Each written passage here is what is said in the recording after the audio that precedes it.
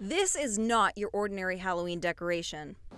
The huge steel object sitting in Mark Koch's front lawn on Logan Boulevard is actually an original NASA space capsule he obtained from a field in Sharon, Pennsylvania. There was about 12 of these made. Uh, few survived, but this was one that we were able to rescue. Mark discovered the capsule after reading a graduate student's thesis paper in New York about the history of the obscure object, which was lying behind a barn for three decades, abandoned and rusting away. Once we saw it and looked at it and realized that the uh, uh, the significance of it, we went ahead and started the restoration of it. The exterior of the capsule has been fully restored and the interior is starting to shape up, but the finishing touches are expected to be finished in North Carolina over the next six months. He says he wants to use it to teach children about the exciting history of space. So we're using all of this to uh, inspire the young children and to get them interested in the STEM programs and to uh, make them aware of what's really going on with this effort to, uh, to uh, move the space program forward. Mark is excited to show people this capsule and says you're welcome to stop by and see it until it's moved on November 1st. In Altoona, I'm Darby Sparks, WTAJ News.